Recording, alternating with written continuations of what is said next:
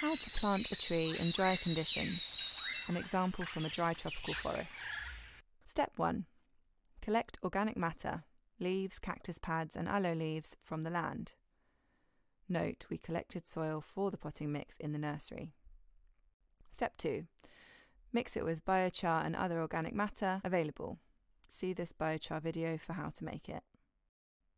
Step 3. Take plants from your nursery to the planting site. Step 4. Dig a hole that is more than double the size of the plant you're planting. Step 5. Optional, if available, add nopal cactus, glycoproteins that hold water and slowly release, and aloe, glycoproteins and plant hormones that encourage root growth and transplant survival, roughly chopped into the hole. Step 6. Add the prepared biochar mix, slow release nutrients, microbiome enhancement, and moisture holding capacity into the hole and mix it well with the native soil so that you don't get layers, which will stop water infiltration and create dry bands.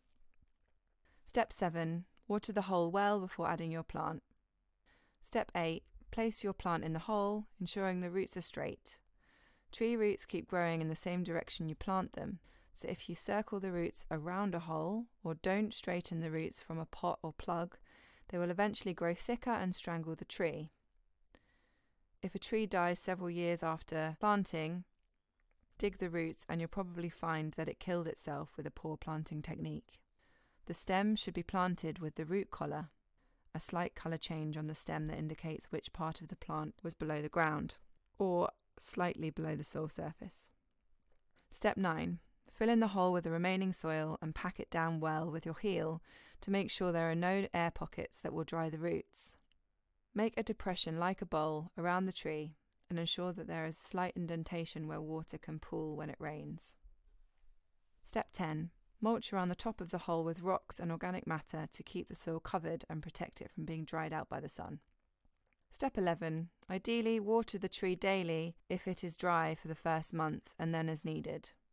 Preferable planting occurs in the early spring in temperate areas and at the beginning of the wet season in tropical areas, so the rains do the watering.